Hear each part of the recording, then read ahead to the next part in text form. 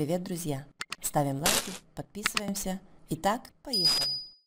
Поле чудес хотят закрыть, но стоит ли этого делать?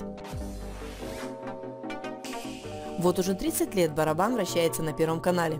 Времена меняются, рейтинги падают, а сама передача превратилась в самодеятельный концерт сельского дома культуры.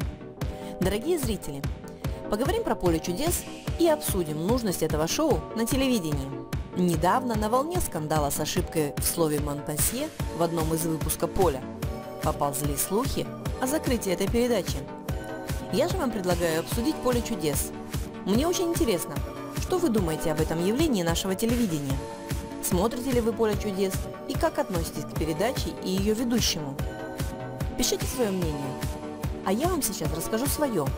Еще раз повторюсь, никому его не навязываю. Я не буду вам рассказывать всю историю передачи, но «Поле чудес», как и многие наши шоу, является адаптацией американского шоу «Колесо фортуны». Кстати, в свое время Владислав Листьев покупал права только на 10 лет. И наше шоу могло закрыться еще 20 лет назад. Но удалось как-то мирно решить этот вопрос. А вообще, я с теплотой вспоминаю детство и пятничные вечера. Я с бабушкой очень любила смотреть эту передачу и угадывать слова. Мы даже кроссворды делали, выжигали на деревяшках и клеили целый месяц. Отправляли на его по почте в Останкино, но ответ так и не пришел. Недавно увидела очередную передачу, и улыбка и ностальгия по детству нахлынули. Только вот передача очень сильно изменилась и стала похожа на какой-то концерт самодеятельности.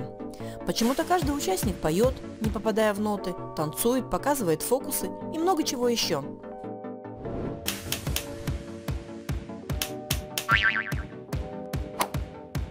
Леонид Якубович стал более нервным, и смотреть на него мне стало не очень приятно.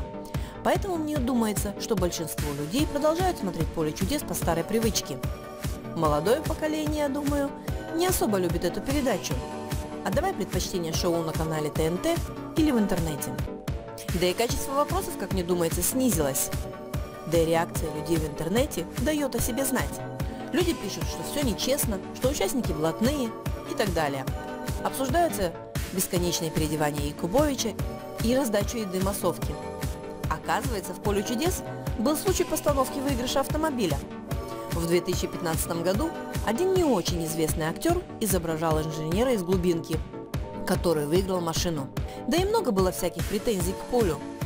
Но закрывать его все-таки не стоит. И вот почему. Эта передача, как ни крути, является хорошим телевизионным контентом. Она воспитывает аудиторию и направлена на позитив. А что ее заменит? Очередное ток-шоу о внебрачных детях звезд или политическое? А вы представляете, какой вой поднимется?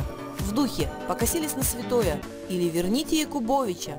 К сожалению, большинству комментаторов в интернете не важно, из-за чего поднимается вой.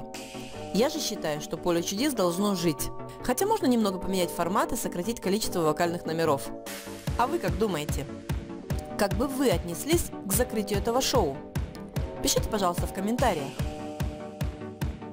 Друзья, благодарю вас за просмотр.